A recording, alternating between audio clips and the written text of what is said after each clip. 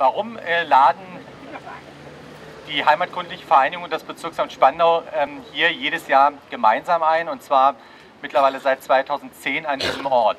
Weil wir hier gemeinsam diese Spandauer Gedenkstätte, diese Spandauer Mauergedenkstätte ähm, ja, initiiert haben und auch umgesetzt haben. Es ist eine Co-Produktion sozusagen äh, der Heimatkundlichen Vereinigung von Herrn Bannisch und, dem Bezirk, und des Bezirksamtes Spandau. Seit 2010 können wir deswegen auch hier an dem richtigen Ort, auch wenn es immer etwas laut ist, an dem richtigen Ort den Spandauern Opfer äh, der Mauer gedenken. Und symbolisch dafür sehen Sie auch jetzt schon wieder hier auf dem Feld, die Rosen liegen auf den einzelnen Steinen, die immer jedem Maueropfer gewidmet sind. 13. August sagt heute nach aktuellen Befragungen nur noch jedem zweiten Deutschen etwas und jedem dritten der jüngeren Generation. Und das macht auch deutlich, wie wichtig es ist, diesen Tag und die Ereignisse nicht in Vergessenheit geraten zu lassen. Aber so ist es wohl mit allen geschichtsträchtigen Ereignissen, auch wenn sie vor der Haustür liegen. Am Morgen des 13. Augustes begannen Tausende, ich glaube etwa 10.000 damalige Volkspolizisten, Grenzpolizisten der DDR, verstärkt von äh, Kampfgruppen und vielen anderen auch äh, politischen Mitarbeitern im DDR-Apparat mitten in Berlin das Pflaster aufzureißen, Betonpfähle reinzusetzen, Zäune zu ziehen. Und das Ganze fand dann natürlich in den Folgetagen seine immer perfektere Fortsetzung. In der Nacht vom 17. zum 18. August wurden dann auch äh, schon die ersten Zäune durch Mauern ersetzt. Und es wurden im Wesentlichen alle äh, Durchlässe, U-Bahn, S-Bahn, Umsteigepunkte für die äh, DDR-Seite geschlossen. Und äh, das macht äh, in seiner Dramatik dann auch deutlich, was so in einem funktionierenden Gemeinwesen einer Großstadt und Umland in diesen Tagen dann stattfand. Die DDR hat es verstanden, in Anführungsstrichen, über viele Jahre der Nachfolgezeit nach 1961 dann diese Grenzanlagen zu perfektionieren, auszubauen, sozusagen eigentlich unüberwindlich zu gestalten. Zum fünften Mal gedenken wir an dieser Stelle der Opfer der innerdeutschen Grenze und der Berliner Mauer, insbesondere der Opfer an dem Spandauer Teilstück. Das Bezirksamt Spandau und die Heimatkundliche Vereinigung richten diese Veranstaltung seit 2010 gemeinsam aus. Sie ist mittlerweile aus dem Spandauer Veranstaltungskalender nicht mehr wegzudenken. Mit ihrem Einsatz für eine aktive Gedenkkultur geht die Heimatkundliche Vereinigung Spandau über den Auftrag eines reinen Geschichtsvereins deutlich hinaus.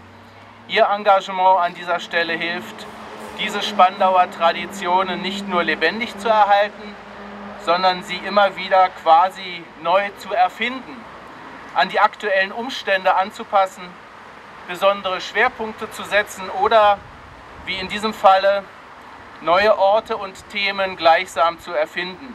Für all das gebührt der Heimatkundlichen Vereinigung unser gemeinsamer Dank.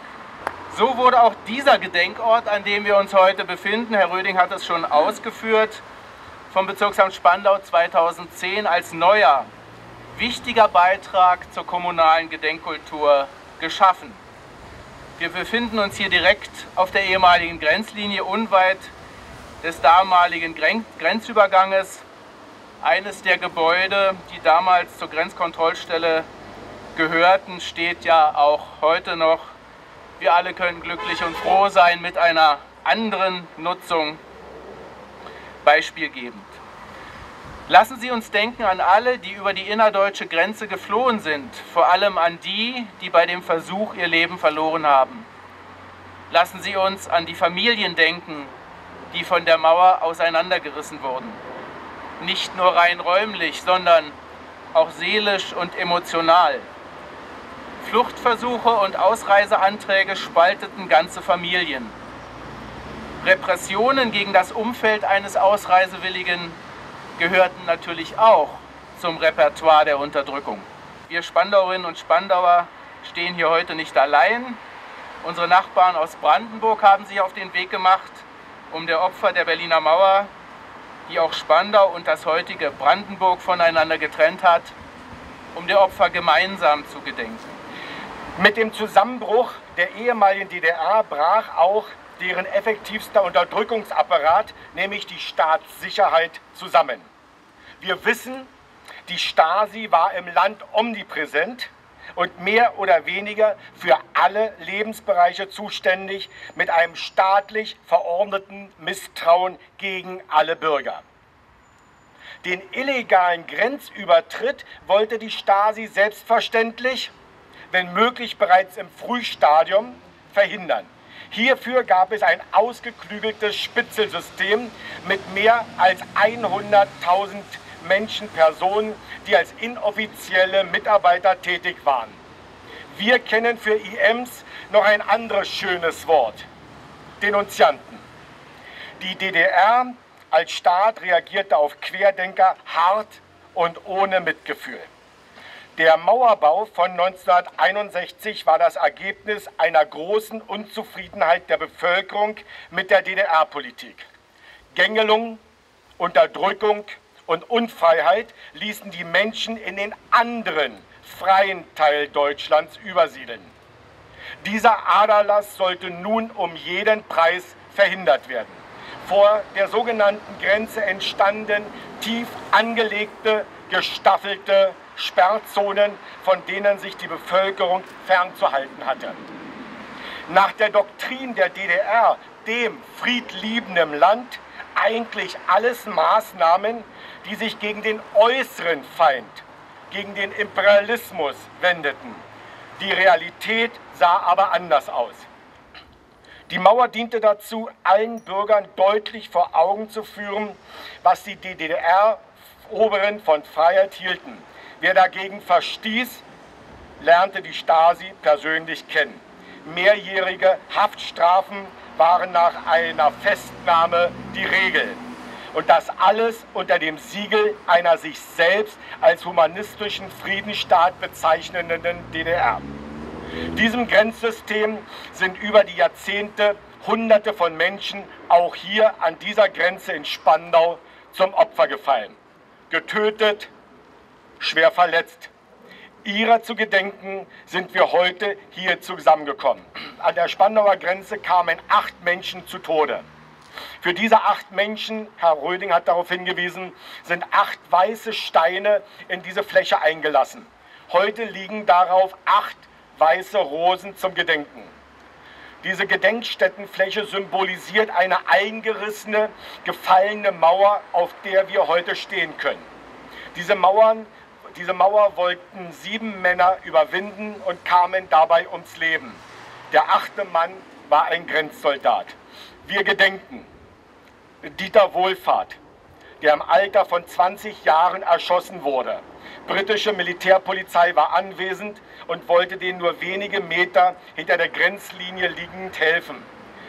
Sie wurden unter Androhung von Waffengewalt daran gehindert.